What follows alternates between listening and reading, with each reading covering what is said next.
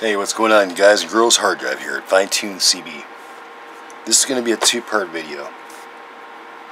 First off, it's going to be this radio by itself and this. Something's been called to my attention about more scammers and Houdini watts, you know, and people trying to uh, blow smoke up your you-know-what. It irritates me, even though I've seen these videos, and I won't give out any names at this time.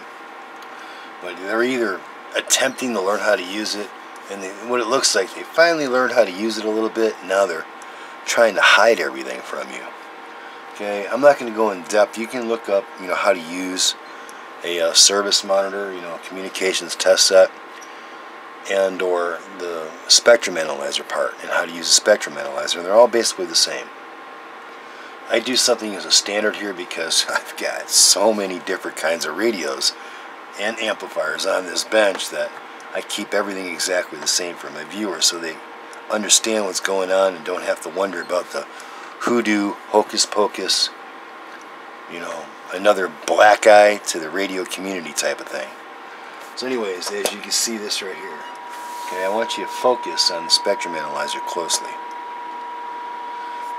Normally, what you do is uh,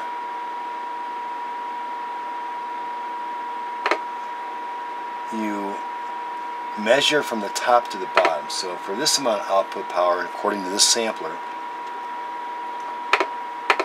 we're going to go about one. Okay. See the marker, exactly where it's supposed to be? And then you measure up at this point for how many dB.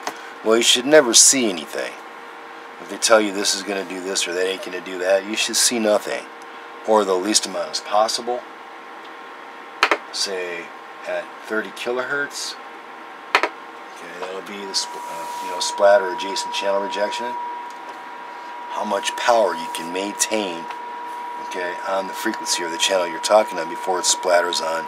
Say if you're on 19, before it splatters on 18, and you know the A channel 19. But uh, anyways, extremely important. All right.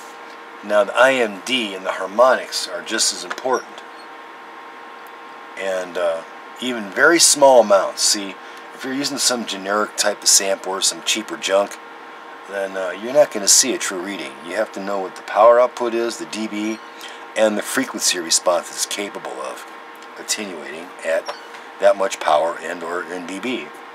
Alright? So now, when someone tries to show you, let's see, let's go back to 30 megahertz, okay? You got a little bit. And that's an accurate reading. Look at that closely. Okay, let me see how this is going to work. I just thought of it. I can't really see the camera. Well, look at that closely. See how that looks? There, I'm out of the way. See it? If you measure the grads also on this, they will be exactly the same. But if you would go to the default of 20, all of a sudden, you can't see anything very misleading and deceiving. So, but when we go back down to 15, it's all exactly the same. All right.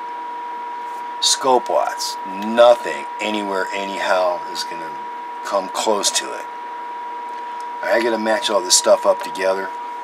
Stay tuned in. You know who it is. I hope you learned something. There's a lot of shysters out there. Am I pointing at you? Yes, I am you know who you are. Stay tuned in because you know who it is.